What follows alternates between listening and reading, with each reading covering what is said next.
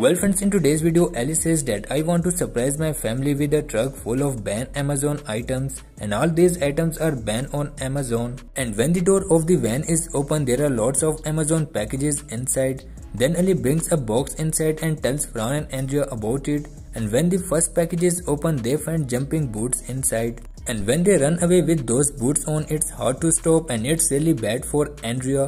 The next item they get a sumo ball and wait that sumo ball to kick someone off the basketball court. In this game Ferran wins then he gets next item football and this ball has zero noises then he gets next item spike yo-yo ball. These balls are banned in the USA because children are strangled with this ball. So no one sells this ball and they throw the ball in the dustbin after hearing this. Then they get the next item slingshot and it can throw the balloon 100 feet away. And then they get the next item magic wand and it shoots flames. Ali then gives Andrea the next item tortilla blanket and Andrea gives the blanket to Gucci and Gucci is wrapped in the blanket and then they get the next item sticky spray.